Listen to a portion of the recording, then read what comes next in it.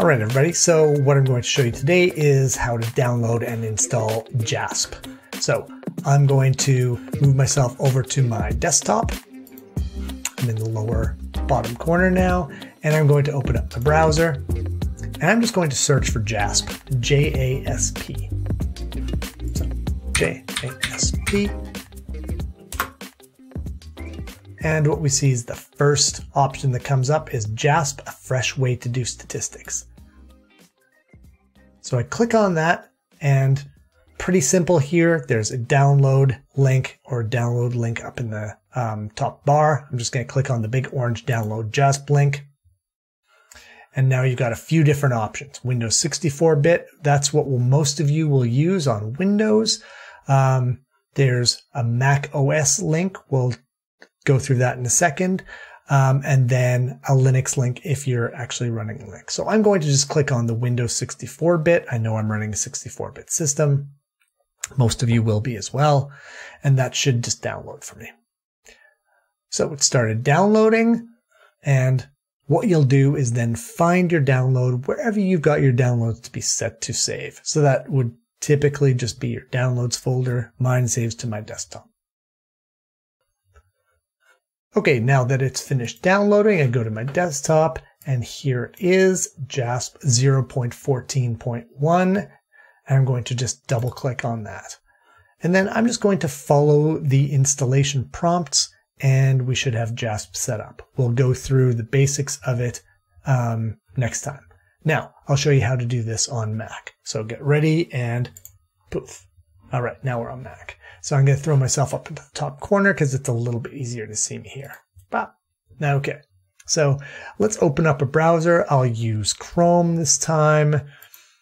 And we're going to search for JASP and we're just going to do the same thing.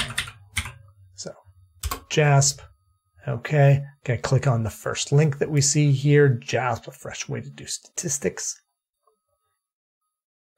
And I'm just going to click on the big orange download JASP button.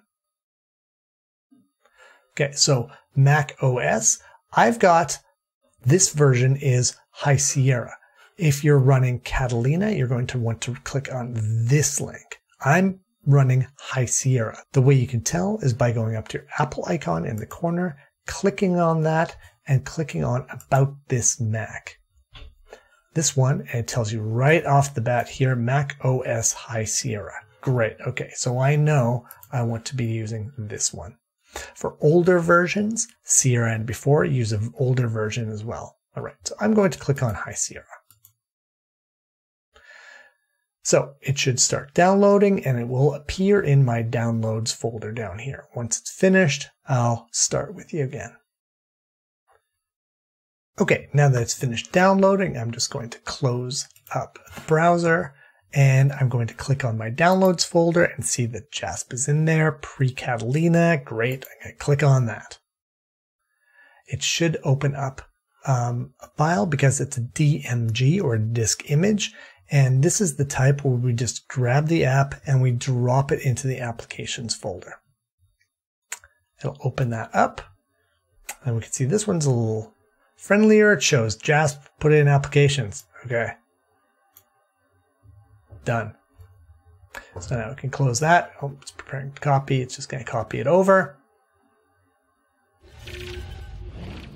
Okay, now it's finished copying JASP over to applications, and you can find it either in your applications folder. We'll see here under, there it is, under JASP, or if I click on Launchpad, it'll be there. So if I click on applications, click on JASP, it'll launch the application.